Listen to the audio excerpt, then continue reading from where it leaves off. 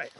All right, we're here with Brian. We got a happy guy. We uh, we found a ring he'd been looking for for two years. A little over two years. Yeah, I was out metal detecting here in town. He saw me out and he said, hey, I, I got a ring I lost. So uh, anyway, we came out here in this deep, deep little island woods in the middle of a field.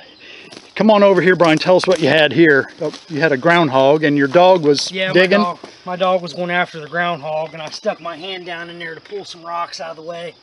And she grabbed my ring and shot it straight off my finger, and it went flying that way. Okay, and we found it right here by the Pro, the AT Pro, well, where it's setting here. Just right here. Yeah, it was right, Was it right here? there. Yeah, right there. Right It was right in here somewhere. It was just barely covered by a little bit of dirt. Yeah. Well, that's, I was glad I could help you with that. I'm so, excited. There you go. Even Thumbs up. Even though I'm divorced, I still got the ring. Yeah, well, make the best of it. We're still paying for that. Yeah, well, yeah. All right, good deal.